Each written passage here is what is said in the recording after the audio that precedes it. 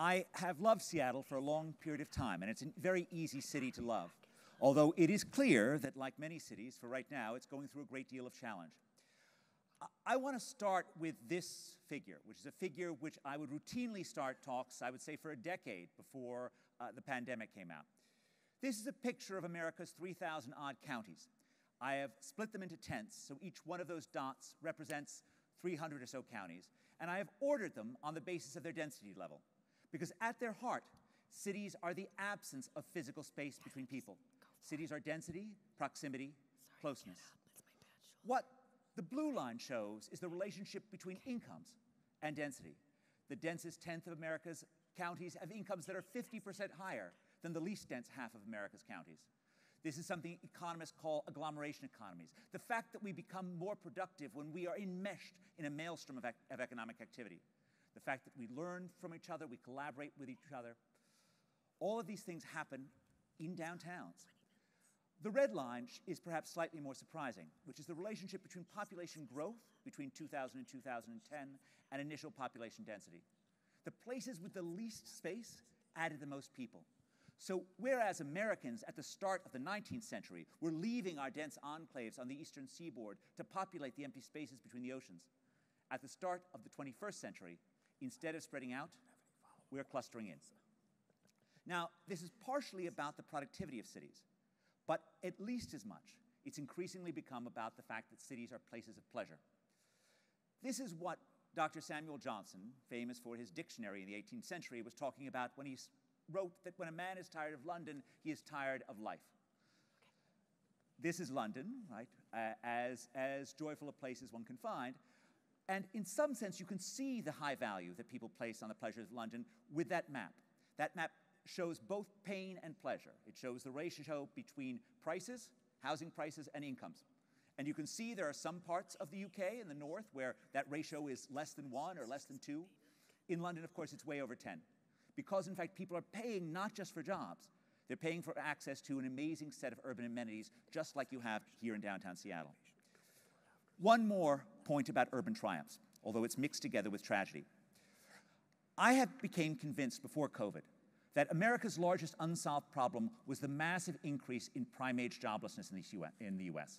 Because, in fact, being jobless is actually vastly worse on almost every dimension than being even a low wage worker. Because jobs are not just about earnings, they're about a sense of purpose, they're about a sense of social connection, they're about structure.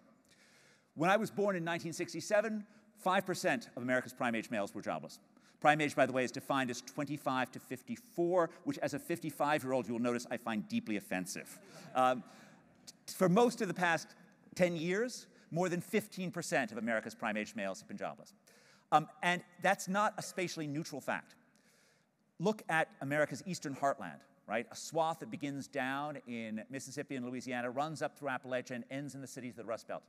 Look at the Pacific coast, right? You will see there are lots of areas in Oregon and Washington uh, that are, in fact, at the high levels of America's joblessness. But I'll tell you one of those counties that's not there, and you can see it shining through, it's King County, right? Because in a city like Seattle, even if you don't have an advanced degree from UW, right, there will be a job for you.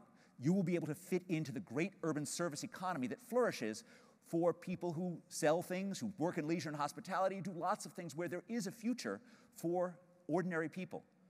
I have a lot more trouble understanding what the future is for ordinary people in West Virginia. Um, now, all of these rosy things about cities, the opportunities of jobs, the, the flood of people, high housing prices, well, that's not always so rosy, um, then ran into this. Plague is an old companion of urban life.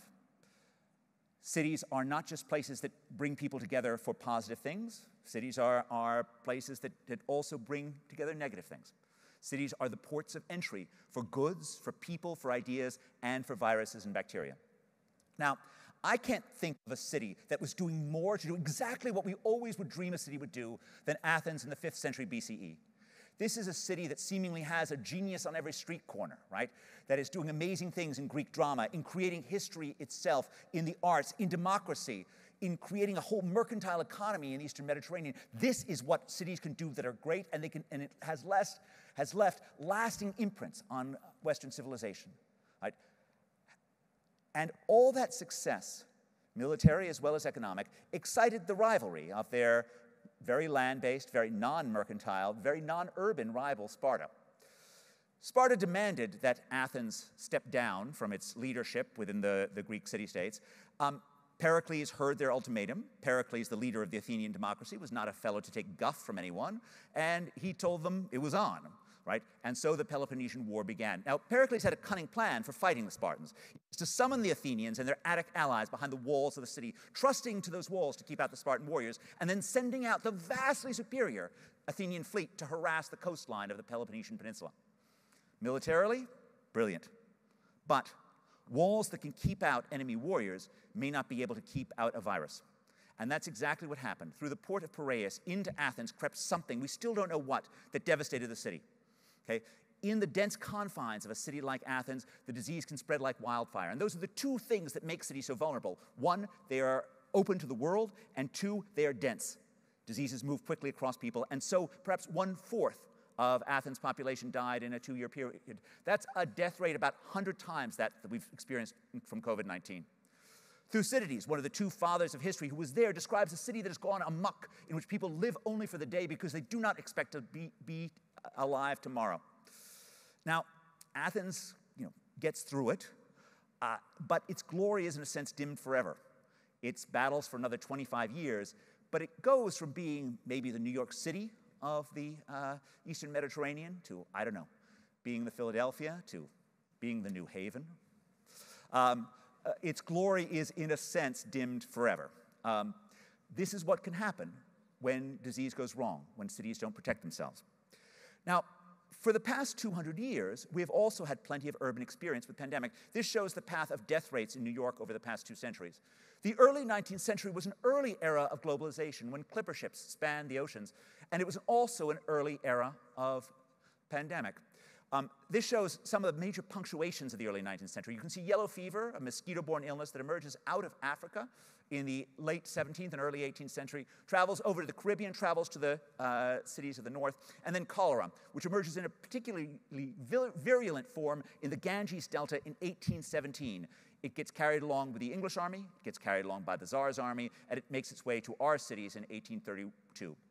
Now, these cities were awful, not quite as awful as the plague of Athens, right? So these are death rates about 10 times that of COVID 19. But cities continue to grow, they continue to survive. And there's a big reason for that, and it relates strongly to the downtown uh, uh, Seattle. Uh, and the reason is that groups of citizens, ordinary people, came together to make their cities healthier, to build the kind of infrastructure that would protect New York City against the pandemics of the future.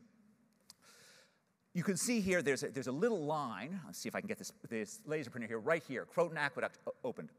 In 1842, this took 20 years, right? This was a group of citizens who recognized that these, this flood of cholera, this flood of yellow fever, was just decimating the city, and that they needed to spend to get clean water in and to get the filth out right? They didn't necessarily get the medicine right, but they understood the public health. They spent an enormous amount. America's cities and towns were spending as much on clean water in 1900 as our federal government was spending on everything except for the post office and the army.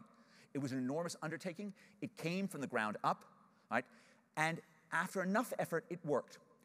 One thing to notice about this graph is the Croton Aqueduct was not enough.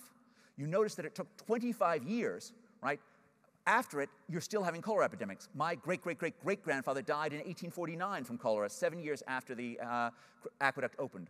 The reason for that was the last mile problem, right? they were expecting that poor people would either go to the, the, the uh, go to the, the hydrants and carry the water or pay for a connection. Tenement owners weren't willing to do it. Poor people continued to die, right? It wasn't until Dr. Stephen Smith an ordinary New Yorker led a survey of all the conditions that went wrong and organized a mass movement that you created the Metropolitan Board of Health that started imposing requirements on tenement owners to, to connect to the water system and fining them if they failed. That came from ordinary citizens. Ordinary citizens understanding that government isn't something that's over you, that's distant, but good government is something you make. And that's exactly how New York got, got healthier. In some sense, the 19th century and 19th century cities are, um, in some sense, a hinge of history. If you think about governments prior to 1800, all they really do is they kill people. Maybe they kill people on our side, but maybe they, maybe they don't. Suddenly, in the 19th century, city governments started to save people's lives, and it happened because ordinary citizens got involved and made it so.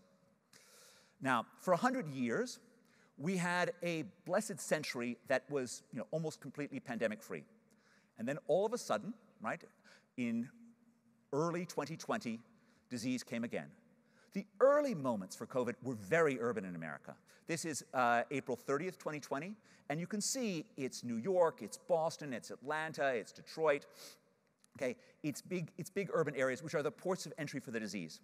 Of course, an airborne pandemic, either COVID or the influenza pandemic of 1918, 1919, that can go anywhere. And of course, by November, it was in the Dakotas, right?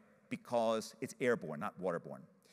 Um, Within cities, though, it didn't particularly move in the densest areas, and that's an interesting fact. So this is a map of the five boroughs of uh, New York, and you can see that, in fact, the areas that are the densest, that's here, this is Manhattan, this is Brooklyn Heights, these are where the buildings are the tallest. They had by far the lowest rates of the disease. The disease was centered in, in Staten Island, in uh, Upper Bronx, in Queens, right? What's going on? Why was it not where the buildings are tallest? Okay, um, it's because that's where people change their mobility most. Okay? And it turns out that skyscrapers are perfectly safe ways to have density. There are other places where it's not true, right? So, for example, in the slums of Mumbai, by July 2020, serological work found that more than one in two, right, 50% of Mumbai residents had already had COVID. But in the dense skyscrapers of New York, it wasn't true. And it wasn't true because they re reduced their mobility, right? We, our estimates are that a 10% reduction in mobility during this time period, and you can see the reductions in mobility here. We know this from cell phone records provided by SafeGraph. A 10% reduction in mobility during these early months, before we had masks, before we had vaccines, was associated with a 20% reduction in disease. Now, why did those people in the city center, why were they able to restrict their mobility? Because they were educated, because they had you know, jobs that enabled them to work remotely, because they weren't in essential industries. And I think it's important when we think about Zoom, and it's part of why we want our downtowns to come back, right, is that working remotely was never a democratic thing. This is May 2020, right, when, you know, I think the majority of people, the overwhelming majority of people in this room were likely to be remote, right? 68.9% of Americans with advanced degrees were working remotely, right? What share of American high school dropouts were working remotely in May 2020? 5%. What share of Americans who didn't get past high school working remotely? 15% right? And so if you imagine a world in which all of our offices are empty, our downtowns are empty, and we're all zooming in, that's a world that is even more awfully unequal than the world that we had before COVID. Um, this is sort of an amazing fact, which is because of this link between the ability to self-protect and education, the death rates from COVID look totally different in educated and uneducated parts of America, right? And so this is just looking across large metropolitan areas, right? That's a fourfold difference between a place like Seattle, where, you know, as we, as we learned, the fentanyl deaths are worse than the COVID deaths, right? To a place like Las Vegas, where, uh, or Riverside, or Oklahoma City, or San Antonio, where the COVID deaths were about four times that in, uh, in Seattle. Education is predictive of many things that go right in cities, and in fact, the greatest blessing that Seattle has is its human capital, is its skills. Now, this pandemic and was associated with a different outcome than in the past, economically as well as health-wise, because our economy has changed. So 650 years ago, when the Black Death came back to Europe, it hit an, an, economy that was marked by subsistence agriculture, in which people got their wealth from the soil. Now, when a pandemic comes in and kills a third of the population, as this incredible human tragedy does, it means that the amount of land left is much larger per person. It means the demand for labor soared, and wages you know, went through the roof in the late 14th century after this, after this pandemic. In fact, the, the extra earnings that people had helped fuel the boom for luxury goods that gave us the urban renaissance of the 15th century. Flash forward to 1918, 1919, the industrial economy, right? This economy also you know, was hit with the influenza pandemic. It is true that mines shut down temporarily. It is true that factories were faced dislocations, but people didn't stop buying ice boxes or cars because of the pandemic. Not then, not now, and so the factories came back. Move forward 100, 100 years, where factory jobs are gone, automation and outsourcing, and the ability to serve a cappuccino with a smile has become an employment safe haven for people who don't have fancy degrees, right? The danger is that as soon as that smile becomes a source of peril rather than a source of pleasure, right, those jobs can disappear in a heartbeat. Or so I worried early on.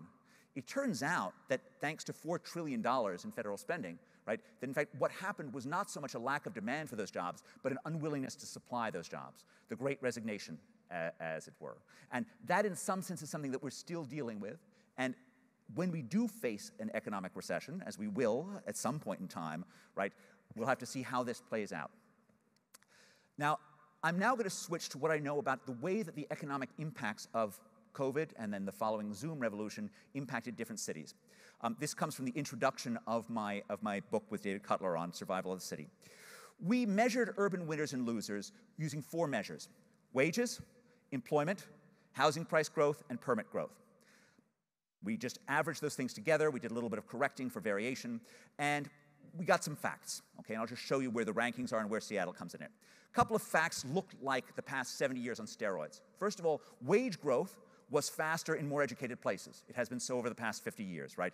Economic change has favored skills, and it was particularly true over this time period. Amazingly high wage growth, particularly in the California areas, but also Seattle. Employment growth goes to the Sun Belt. You know, there's a basic fact that there's no variable that better predicts metropolitan area growth over the past 120 years than January temperature, right? Uh, and it continues to be, uh, continues to be true. Um, the New Orleans being the one glaring exception. Where does Seattle come out in here? Uh, Seattle comes out number 14 right, out of the top 50. So it's doing all right. Okay, this is the metropolitan area as a whole. It's not the particular downtown. Uh, it's doing pretty well in terms of wages. Every, it's doing better on wages than any other place other than the San Francisco uh, and LA, LA areas. Um, doing less well on employment growth. Um, let me just show you what the, in general, this is dominated by the Sun Belt. So 17 out of the 25 in the top, the top half of this list are in the Sun Belt. Austin, Texas, Phoenixville, Arizona, those are the leaders of the list. Those are the places that have done magnificently well. And those are the places that, as we think about retaining talent for Seattle, that's where we need to worry about. I, I love the fact that we had Erie, Pennsylvania, and Detroit on those, those, lists. That's not the places you need to worry about. It's Austin, Texas, Miami, uh, and, and uh, Phoenix. Um, this is the bottom of the list. Now, this is filled with a lot of Rust Belt you know, places that have been doing badly for 50 years. But there's something anomalous about this, which is the large size of cities like New York, Washington, D.C., and Chicago enabled them to float above most of the Northeast over the past 50 years. They did unusually badly during the past three years. They did much, much worse. And so they're really at the bottom of the list, apart from uh, New Orleans. Um, another way of looking at what's happened, of course, is with housing prices. And this is uh, uh, it's a repeat sales index uh, over the past 40 odd years. And as you can see, based on where you started in 1977, Seattle actually outpaces all of America's large, large cities. It's really quite amazing, and it it's, you know, did particularly well during the past three or four years. There are upsides and downsides in that, but that shows the demand to be in the Seattle metropolitan area remains robust. The demand for offices, a little less clear. This comes from the Kidder Matthews market report. You can see vacancies going up, you can see rents going down. Um, and the big question that we're all facing is when or will we ever go back to work? This is for 10 large markets. This comes from Kastle Technologies. Uh, these guys do card swipes to get into buildings. Shows you know, less than 50% of people going to back to these fancy downtown offices. This number is less bad than overall coming to work. I also have Google mobility data. This shows people just going into any workplace. This is the largest county associated with the city, so Maricopa for Phoenix and King for uh, Seattle. Um, Seattle is one of the two places on the bottom there. Okay, so Seattle is down there with New York. The, high educated, the highly educated workforce of Seattle has been particularly prone to using Zoom, which means that you have this problem uh, particularly uh, uh, strongly. Changes in recreation, though, not so much. Seattle doesn't look like New York. It doesn't even look like, uh, like Chicago. It actually looks much better. The demand to be in this place for pleasure remains robust, even if the demand to be in offices does not. And public transit uh, usage, Seattle looks like it's about the middle of the pack. The only place that looks really unusual on this is Houston. Now, when we think about Zoom and the future of the city, I think it's helpful to have real historical perspective. Technological changes have always shaped our urban areas, right? There are both technologies that are centripetal, that pull us together, and technologies that are centrifugal, that pull us apart, right? This is a centripetal technology, the aqueduct, which enabled the building of large cities by the Romans. Throughout most of the 20th century, centrifugal technologies were dominant. And 40 years ago, during this mess, during the period in which, which New York looked like it was headed for the trash heap of history, a futurist called Alvin Toffler wrote in a book called The Third Wave that electronic technologies would make face to face contact and the cities that enable that contact obsolete. That our offices would become empty, that we would all depart from cities, and you know, everything was going to disappear. Very similar to things that we've heard now. Um, and he was living during a great centrifugal age, during which technologies like the car and radios and television had made it less necessary to be in a city to catch a fun show or to uh, find a job. In some sense, the big effect over the 20th century was the decline in the cost of moving goods, right? This, this just shows the over 90% drop in the cost of moving a ton of mile by rail. So whereas older cities like New York City or Chicago were anchored by access to their ports and access to their rail yards, by the end of the 20th century, that was irrelevant. And former dominant industries, right? The largest industrial cluster in the United States in the 1950s was not cars in Detroit. It was guys sewing dresses in New York City, right? They lost hundreds and hundreds of thousands of jobs over a five-year period, right? And all of these were the 10 largest cities in, in the US, and these are actually the central cities themselves, right? They all experienced an awful 30 years, right? Some of them managed to come back after 1980. Some of them, like Cleveland, Detroit, St. Louis, still has, have not. And of course, in the 1970s, Seattle wasn't immune to this, right? In 1971, two jokers put up a billboard leaving the city asking the last person to leave Seattle to please turn out the lights, because just as no one could imagine a Detroit with a smaller Boeing, Detroit with a smaller General Motors, no one could imagine a Seattle with a smaller Boeing, and Boeing had been laying off jobs. So before Amazon, before Costco, before Starbucks, before Microsoft, right? Seattle looked like it was, it was finished. But of course, that's not what happened.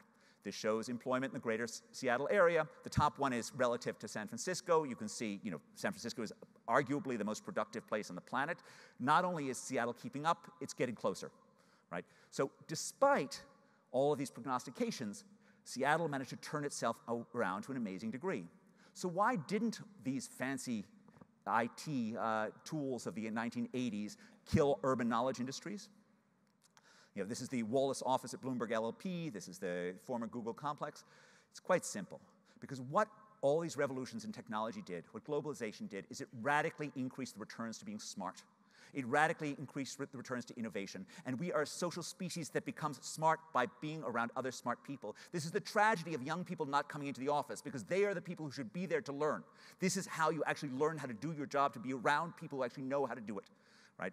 Um, and the more complicated the world is, the easier it is for ideas to get lost in translation. Anyone who's ever taught knows the hard part about teaching is not knowing your subject. It's knowing whether or not anything is getting through to your students. And we have evolved over millions of years to have these cues for communicating comprehension or confusion that are lost when we're not in the same room with one another. Now, the ability of cities to enable us to learn from one another, to work from one another, explains why some cities have done much better than others. Seattle is doing exactly as well as its human capital says it should, right? 65% of Seattle's adults have college degrees. Something like 15% of Detroit's adults do. They are both doing exactly as well. This is, the fact that you are surrounded by skilled people makes you much more productive. This just shows the relationship between per capita GDP and share of adults with a college degree. As the share of adults in your area with a college degree goes up by 10%, your earnings typically go up by 10% too, holding your years of schooling constant. This is something economists call human capital externalities, the benefits of having someone smart to employ you, to buy from you, to sell to you, to give you an idea. Um, this shows the relationship between population growth and initial skill levels. So skilled areas have generally managed to boost both wages and population. Now, skills are not just the skills that you learn in colleges. They are the skills that are learned at the office, on city streets. They're what the great English economist Alfred Marshall was writing about in the 19th century when he wrote that in dense clusters, the mysteries of the trade become no mystery, but are, as it were, in the air, right? And I can't think of any skill or talent that is more valuable for the long run resilience of a city than the ability to be an entrepreneur the ability to find something new to do, to find a new way of employing people, to find a new product to sell. 60 years ago, the economist Benjamin Chinitz was comparing New York and Pittsburgh and noting that New York was more resilient than Pittsburgh even then. He argued that this was a legacy of New York's garment industry, which was a mother of entrepreneurship in which anyone who wanted to get started could and could learn how to become an entrepreneur. By contrast, right, Pittsburgh had US Steel. US Steel trained company men, and they were great at logistics in the short run, but look, when US Steel founded, they wouldn't know how to start an electronic greeting card company. They wouldn't know how to do something else. They were company men. It is amazing, given how bad our measures of entrepreneurship are, that they do such a good job of predicting urban resilience. This just shows the relationship between average establishment size and subsequent employment growth between 1977 and the next 25 years. Lots of little firms, good growth. A few dominant firms, bad. Okay? You want to be a, a place in which it is easy to start a business. Now, what do we know about productivity, learning during a time of COVID? We have multiple studies that look at call center workers and what happens when they get sent home. Both studies find exactly the same thing. Okay, when you send call center workers home, they can just make just as many calls. They know how to do it. Okay, Both studies also find that your probability of being promoted if you're a call center worker goes down by over 50%. What's going on? Why aren't these remote workers getting, getting promoted? Well, what it means to be promoted is you get to handle difficult calls. How would you learn to handle the difficult calls if you were all alone? How would your boss learn that you were good at, at doing them, right? All that learning channel is shut down. And that's what we're losing when we're going remote. Um, the, the Microsoft, right, told us initially that sending people uh, remote was not doing anything to the productivity of their, uh, their software programmers. A more recent study by Sonia Jaffe and her co colleagues looks at what happens when you go remote. I'll just read from the abstract. Our results show that firm-wide remote work caused the collaboration network of workers to become more static and siloed, um, with fewer bridges between disparate parts. Furthermore, there was a decrease in synchronous communication and an increase in asynchronous communication. Together, these effects may make it harder for employees to acquire and share new information across the network, right? Third piece of evidence. What happened to new hiring during COVID, right? So on, on your left is those jobs that could be done, that had to be done live. You'll see when COVID hit, drop in employment, drop in new hirings as measured by burning glass technology. On your right are those jobs that can be done remotely, right? Employment, which is the red line steady, new hires down by 40%, and they stayed down, okay? People were not willing to onboard new workers if they were not going to be there in person because the learning channel is shut down. And I can say after, you know, years now of studying what's going on with remote schooling, right? This is something that is somewhere between disastrous and unbelievably awful, right? What we've done to our kids by making them go remote. I think in the long run, uh, in the long run, what this means is that density is not over, proximity is not over, face-to-face contact is not over, right? right? People have to realize that you know we are social. It is what we do, and for our jobs to be joyful, we will need to be live in the office. But I do fear that Zoom means more competition for global talent than ever. It has never been easier for firms to relocate, right, and to find something else. And that means that every city needs to bring their A game if they want to retain talent. Okay? This is not the time to think that all of a sudden your labor is fixed, that you're sitting on everything. This is exactly what happened in the 1970s when highways and cheap transportation made it easier for people to relocate from cities like New York, right? During this time period, there were progressive dreams that started treating those firms and those people like they could just be taxed without uh, impunity, and they just left. And this was the background before uh, the city facing uh, near bankruptcy. When we think about Seattle and what are our assets, you've already seen the, the, failure, the lack of people returning to the office, but the visitors are back. That again implies that the city's enduring asset is as a place of pleasure, a place of joy. So when I think about the critical things for the future of the city, I think quality of life strategy is economic development strategy, right?